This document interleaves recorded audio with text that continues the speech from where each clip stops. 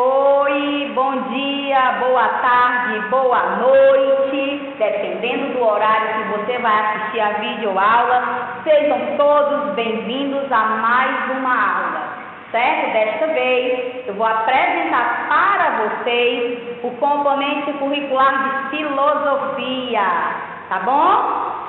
Meus amores, eu quero dizer para vocês, tá bom? Todo mundo terceiro ano A, do terceiro ano B, do terceiro ano C, que eu estou com muita saudade de vocês, tá bom? Eu gostaria de deixar aqui um abraço bem grande, bem apertadinho, tá bom? Vamos lá.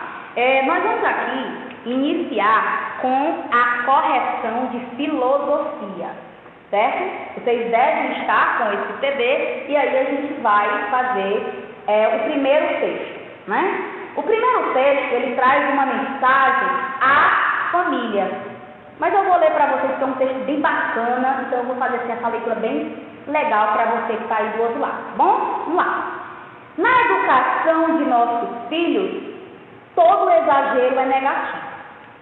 Responda-lhe, não instrua. Proteja-o, não cubra. Ajude-o, não substitua. Abrigue-o, não esconda. Ame-o, não o idolatre. Acompanhe-o, não o leve. Mostre-lhe o perigo, não o atemorize. Inclua-o, não isole. Alimente suas esperanças e não as descarte. Não exija que seja melhor. Peça-lhe para ser bom e dê exemplo. Não mine em demasia rodeio de amor. Não o mande estudar, prepare-lhe um clima de estudo. Não fabrique um castelo para ele. Vivam todos com naturalidade. Não lhe ensine a ser, seja você como quer que ele seja. Não lhe dedique a vida, vivam todos. Lembre-se de que seu filho não o escuta, ele o olha e finalmente, quando a gaiola do canário se quebrar, não compre outra. Ensina-lhe a viver sem fome. Para quem está destinado esse texto? Para quem? Eu vou de item, de item C, para os amigos. Né? estou instruindo meus amigos a dar melhor para os seus filhos. Número 2. O ser humano possui tanta razão quanto emoção. Marque a alternativa que retrata a razão. Pensar bem antes de tomar uma decisão. O item B, abraçar seus pais. O item C, jogar videogame em vez de fazer a tarefa. Item D, chorar ao reencontrar uma, um familiar. A razão, gente, é quando a gente pensa, é quando a gente reflete, certo? Então, a alternativa correta é o item A, tá bom? Para o item 3, o pássaro simboliza a inteligência, a sabedoria, a leveza, o divino, a alma, a liberdade e a amizade. Por possuírem asas e o poder de voar, em muitas culturas são considerados como mensageiros entre o céu e a terra. Qual pássaro é citado no final desse texto? Está bem aqui na penúltima linha do texto. Se vocês observarem, é o canário. Certo? Então, é a alternativa B. Passemos adiante, nós temos o tema de um filme na questão número 4. É a corrente do bem. Ele é apresentado por um professor que, através de suas aulas, influencia seus alunos, adolescentes com idades entre 10 a 14 anos, a pensarem em projetos e propostas que podem não só influenciar o seu ambiente local, quanto o ambiente global certo? O tema do projeto é pensar em algo para melhorar o mundo e colocar em ação. Na questão número 4, o filme A Corrente do Bem é apresentado na sociedade por um professor, item C de casa, tá bom?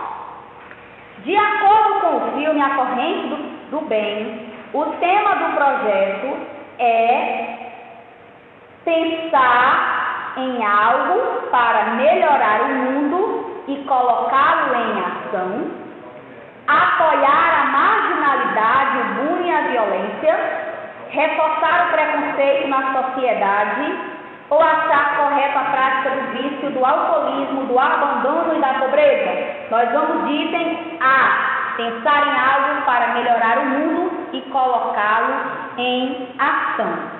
Então, essa foi a primeira atividade direcionada a vocês nesse novo desafio, nesse, nessa nova metodologia de ensino.